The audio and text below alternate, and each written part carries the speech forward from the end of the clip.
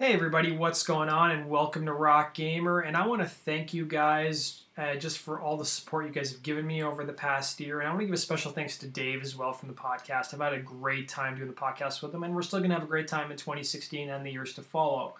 And I just wanted to record this holiday greeting just to wish all of my subscribers and viewers happy holidays or Merry Christmas and Happy New Year. And I also wanted to have a little bit of purpose to this video, so I wanted to do some fun stuff. I think first of all, I want you guys to tell me what do you guys want in 2016 for my channel? Like what are some things that I'm not doing on my channel that you guys want to see me do on my channel in regards to rhythm gaming and that kind of stuff.